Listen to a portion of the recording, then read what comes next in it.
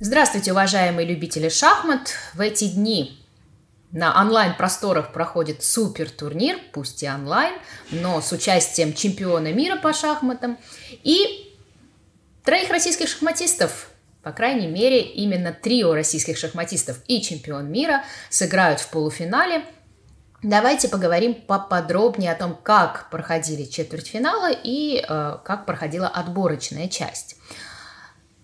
Это первый турнир в этом году из серии так называемых турниров Магнуса Карлсона, тура Магнуса Карлсона.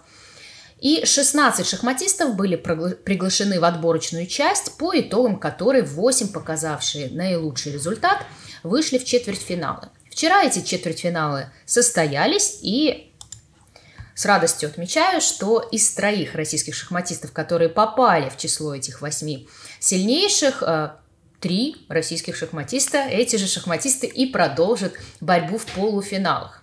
Итак, в четвертьфиналах были сыграны такие матчи. Ян Непомнящий обыграл молодого немецкого шахматиста Винсена Каймера. А, чемпион мира Магнус Карлсон оказался сильнее вьетнамского шахматиста Ли, э, Ли Куанга.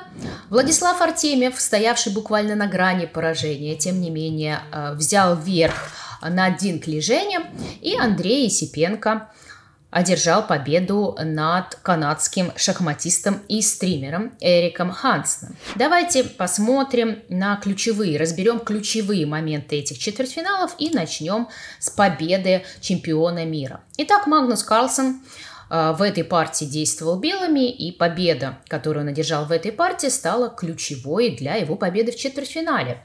Черные только что неаккуратно сыграли ладья FE8 и, видимо, недооценили удар, сильный удар по центру D4, который белые нанесли. Выясняется, что в случае ED белые побьют на B6, побьют на D4, и вот такие вот замечательные слоны у них буквально прорезают всю доску, Таким образом, у белых э, достаточно серьезный позиционный перевес. Черные решили на d4 не бить, побили на f3, слон f3, ед, но тогда следует вот такой вот промежуточный ход ладья fd1. Вновь белые создают угрозу взятия на b6, порчи структуры э, пешек э, черных на ферзевом фланге и затем э, в удобный момент съедения на d4. Черные пошли конь Е5, может быть, они надеялись на силу пешки D. Вот здесь вот D3, пешка уже так далеко пробралась. А, но следует разменная комбинация. Стоит отметить, что чемпион мира здесь совершил неточность. А, он побил на Е5 слоном, а следовало сначала побить а, на А8, ладья А8, и только здесь побить на Е5, и тогда возникала та позиция, которая в итоге возникла в партии, о которой мы будем говорить. Но, но как я уже отметила, в партии белые побили на Е5, а это приводило, могло бы привести к равной позиции, так как после ДЦ, ладья d7, конь d7, слон а8, очень много белых слонов под боем, целых два. А черные сделали неправильный выбор. Они побили слона на А8. Правильно же здесь было съесть ладьей на Е5 ввиду важного тактического нюанса. После ладья С1 может показаться, что теряется пешка Б, и у белых все равно перевес, но у черных есть вот такой вот симпатичный тактический удар. Ладья Е3 с идеей на Фе побить на Е3, и тогда пешка С а, может принести победу черным, поэтому белым приходится бить на b6. И здесь после еще серии э, оригинальных разменов ладья b3 с угрозой ладья b1, поэтому приходится бить пешку, а не коня ладья c2. Черные удерживают равенство. Э, можно побить на b6 ладьей, можно пешкой, пользуясь тем, что на ладья c8, конь f8 это не мат, и у черных даже лишняя пешка на доске. А, поэтому белым следует ходить ладья c7, здесь слон d5 и вот таким вот образом атаковать пешку f7. Но так или иначе, э, этот эндшпиль примерно равный, а в партии последовала ладья a8, но тогда черные Черные теряют пешку c2, и пусть они ее меняют на b3, но мы видим, что структура пешечная на ферзевом фланге оставляет желать, и по этим слабостям белые начинают свой огонь. f6, король f1, усиливают позицию своих фигур Магнус. Слон c3 пассивная позиция, неприятный эндшпиль у черных, и ничего они поделать с этим не смогли. Ладья b2, король e2, король d3, пришел король в центр, e4, еще один шаг вперед, и мы видим, как грустно черным фигурам на ферзевом фланге. Конь c1, потерялась пешка А, ну и с такой отдаленной проходной белые, конечно, не, испыт, не испытали никаких э, технических проблем в этой партии. Давайте досмотрим быстро партию до конца. Слон Е3, С5, F4. Создают еще одну проходную белые. Пытаются создать на королевском фланге. И она. И создали они. Получились вот такие вот шахматные штаны.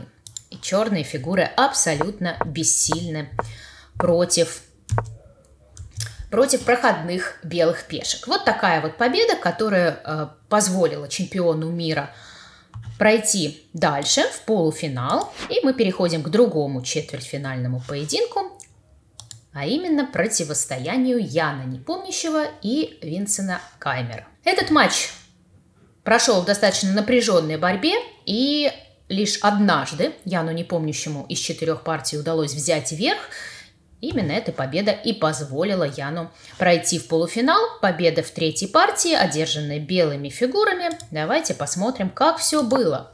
Был разыгран вариант Найдерфа. Интересно, а, что те любители шахмат, которые следят за выступлением Яна Непомнящего, могут вспомнить его недавнюю победу в финале одного из турниров а, серии чемпионатов по рапиду сайта Chess.com над Анишем Гири в этом же варианте одержана. Слон Е3 Рокировка ладья Е1. Я комментировала эту встречу и удивлялась вот такой вот э, относительно новой э, идеи белых не препятствовать ходу d5. Выясняется, что продвижение d5 здесь неудачно для черных, но вообще стоит отметить, что в этой структуре, конечно, это продвижение является ключевым, и вокруг него вся борьба и ведется. Чаще белые ходили слон f3, где-то пытались вот таким вот механическим путем препятствовать этому продвижению, но сейчас ход ладья Е1 входит в моду. Конь c6. А, Винсен решил развить коня таким образом. Чаще развивали коня на d7. Много уже партий на очень высоком уровне сыграны. Например, а, партия Большой Швейцарки Витюгов Сарана, опять же, там черные коня не на d7, они развили тоже на c6, но предварительно пошли а6. И вот, наверное, если и говорить о плане черных э, в этой э, позиции с ходом конь c6, то черные в той партии действовали правильно, они развили коня на c6 и пошли конь a5. Впоследствии уравняли. А в этой партии после конь c6, f3 черным может быть порекомендован ход конь a5. Я думаю, интересное продолжение было бы здесь. Но они решили пойти b5 вперед, а4, ба, конь а4. Вот таким вот образом отвлекли коня белых из центра и сыграли d5. Но продвижение d5 не принесло облегчения а, в этой ситуации черным, поэтому Видимо, весь план с b5 и d5 несколько неудачен в этой конкретной ситуации позиции. Конь а c5 сыграли белый, конь b c5 тоже было интересно, вот таким вот образом освобождая дорогу своим пешкам. Конь а c5, слон c8 приходится отступать так пассивно достаточно, ед, конь d5, слон f2, конь d4, казалось бы, черные фигуры достаточно черные кони активно расположены, но этого нельзя сказать о других фигурах черных. Слон f1, белые пока скромно отходят слонами назад, но атакуют центральные, центральную пешку черных. Ферзь c7, c3, видим, что кони не защищены, они без опорных пунктов и полей, и не просто удержаться на центральных э, позициях. Хотя вот эта позиция э, все равно примерно равное, то есть где-то белые э, не точно сыграли, но не сумел справиться э, в дальнейшем Винсент Кеймер со своими пешечными слабостями, потому что э, пешки приходится удерживать постоянно, это не так просто. В условиях ограниченного времени соперник играет с контролем 15 минут плюс 10 секунд на ход. Конь опять ладья АБ8, ферзь С4. И здесь ошибка достаточно серьезная, которая привела к поражению черных. Опять же, подчеркну, что позиция все-таки достаточно неприятная, у черных больше слабостей, больше угроз у белых, и, соответственно, приходится за всеми этими угрозами следить. Последовал ладья b2, попытался разменять пешку b на пешку а, а э, немецкий шахматист, но, опять же, Проблема не только здесь в пешках, но и в том, что а, конь c6 очень неприятно белые собираются сыграть. Поэтому лучше было сыграть ладья dc8 черным и вот таким вот образом пока защитить поле c6 а, ну, с шансами, с некоторыми шансами на а, благоприятный исход этой партии.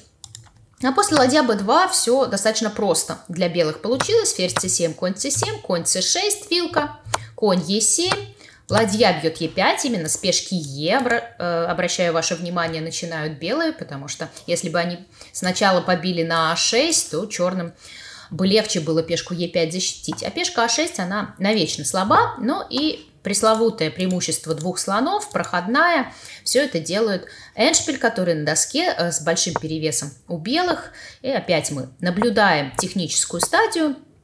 Белые достаточно уверенно ее провели, постепенно усиливали позицию, несмотря на то, что черным вот так вот удалось красиво ладьи а, на второй ряд завести, но это не привело к уравнению позиции. Пешка С продолжал идти вперед. Король, обращаю внимание, как быстро вышел в центр. Слон бьет А6, король d4, сравним положение королей.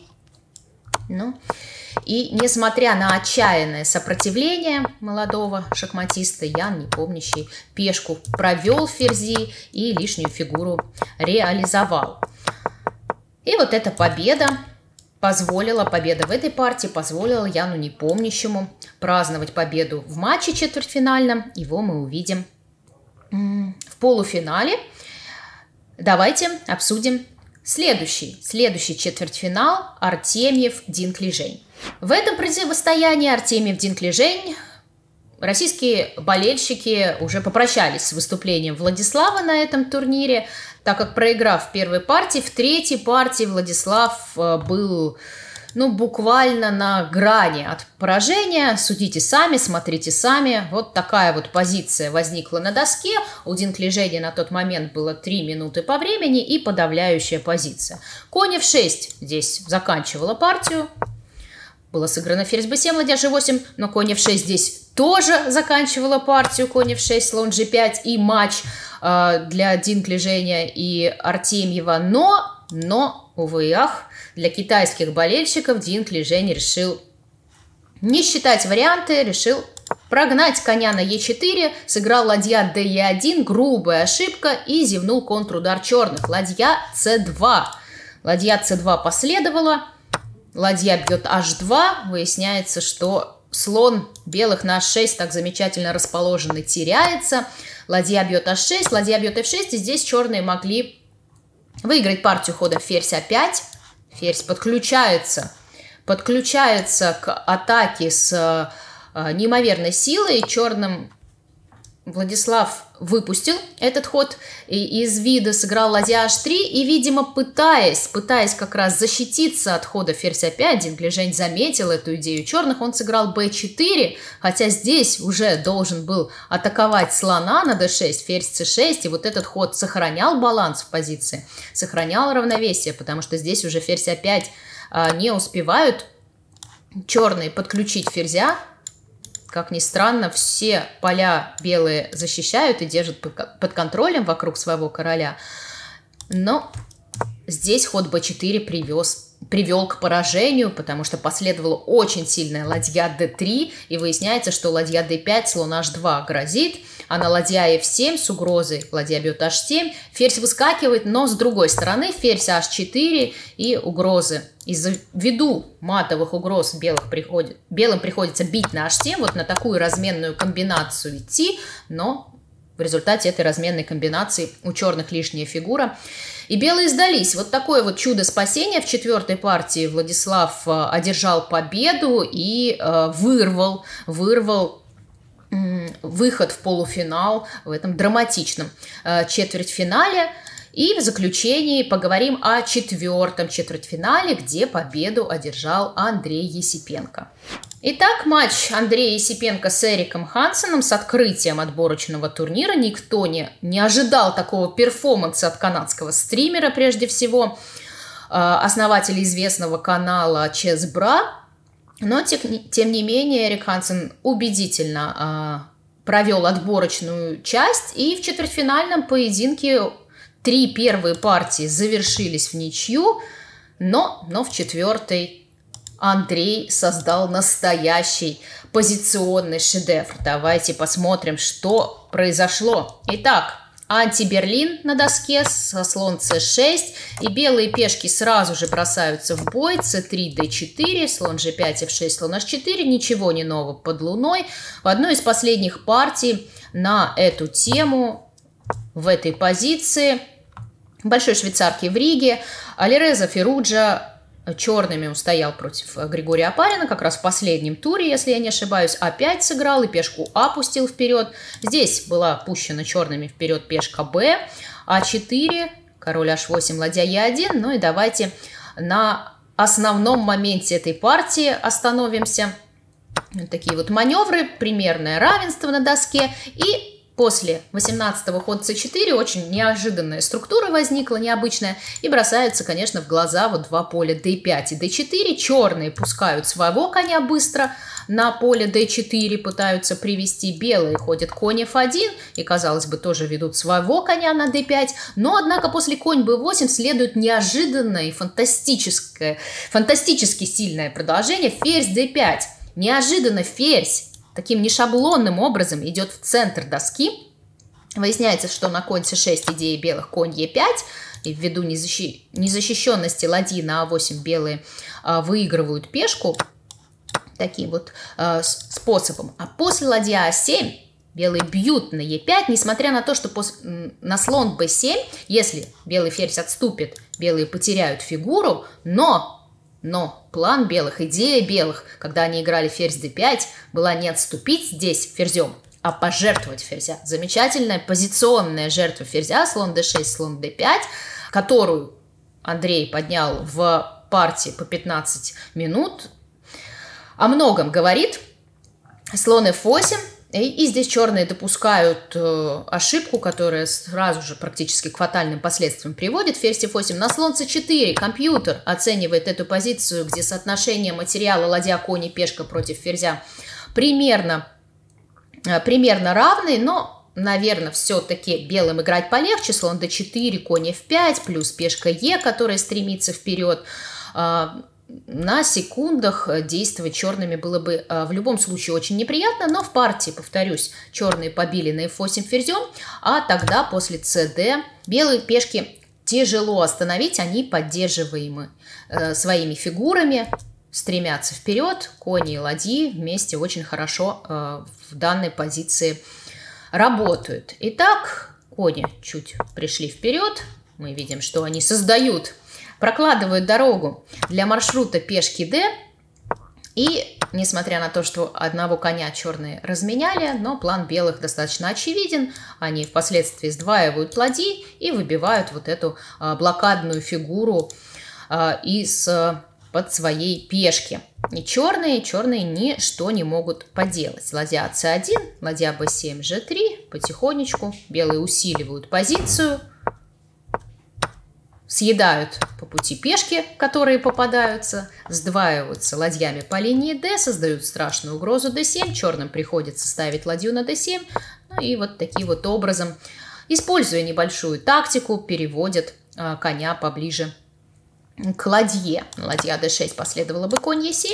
И вот этот эншпиль с двумя ладьями против ферзя э, с большим перевесом у белых, так как эта пешка потеряется, ну и потом э, материальный перевес на королевском фланге удастся реализовать. Ну а на король h7 смотрим, как Андрей доводит коня до поля c5, выбивает ладью, съедает пешку а4, потому что спешить и торопиться здесь не надо – d7 и ввиду страшной угрозы конь b7 еще один ход был сделан, и э, черные сдались. Замечательное достижение нашего юного э, российского шахматиста.